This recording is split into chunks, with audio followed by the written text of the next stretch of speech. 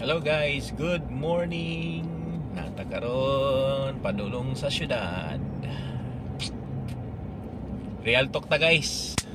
Tanaw na to uh, real bagay atong talk. okay, yung atong topic ron kani bitawng uh, imuhang amigo.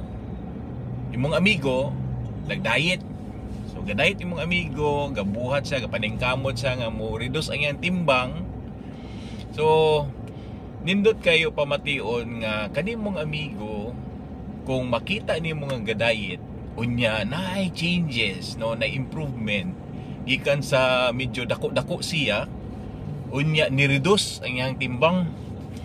So lami kay pamation nga ikaw mismo nga amigo mo nga bay ni gamay lagi ka nag-diet ka? Ah, okay. Kung nag-diet ka, padayo na ba eh, kay mas maayo, mas mas fit ka tanawon, mas angayan ka tanawon kaysa kaniya pinaka medyo uh, babutang na to batasan gini sa mga Pinoy ba. Nay amigo, nag-diet. Karon ang gibuhat, ga-diet ka? Eh, di man na mo kayahon. Eh, sa sugod ra taman kay inana bitaw nga mga kuan nga mga istorya, wala walang kailangan may istorya. Ayaw na lang pag i-discourage nga dili niya kaya. Dapat imo i-encourage nga lagi ba mas maayo na nindot na imong gibuhat, ga diet ka para sa imong health. O no? Kay syempre para man gyapon na sa iyang kayuhan niya ikaw po as amigo as a friend kung tinud ka nga friend mo encourage nga mahit niya yahang target nga nag-diet gid siya kay mo hospital na ambag day mo ambag day ka og pangbayad sa ospital kay high blood na taas ng kolesterol taas na ng uric acid uron sa pa yung mga taas diya. Mara ba ng mga mutaas nga di kita di kita ko ano?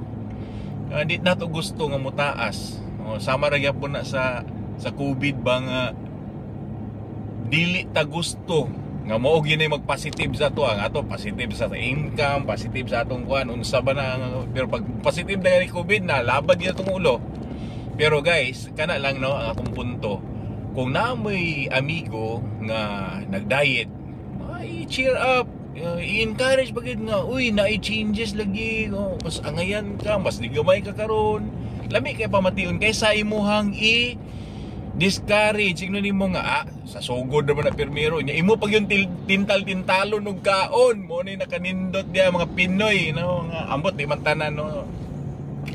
Pero kasagara gyud uh, mga tungod kay siguro sobraan na ka suod ba no imbis na i-encourage nga padayunan na ba eh, kay mas nindot na sa imong health i-discourage na noon De, so good ra kataman, di ni mo kaya, eh, one week ra kataman, adlaw ra ka. Labi na ka na magsugod ng exercise, agoy, grabe nga kantsaw. Ga-gym ka part.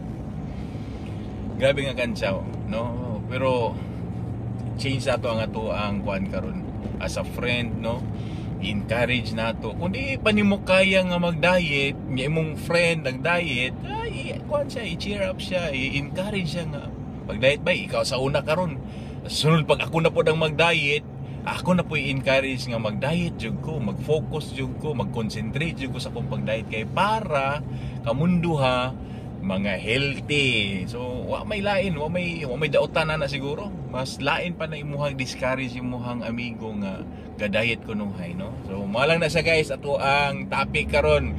Kung nay mag-diet i-encourage nga magpadayon pero kung ayaw pod og i-discourage kay lain jud kayo pamation na gangisi lang siguro ni muhang amigo kay smile pero sakit ng dughana na ba? Kay walay mo tuo sa iyaha dapat na ayun uh, pakita nato nga nagsuporta ta as a friend okay? So kada lang guys. Bye bye god bless tanan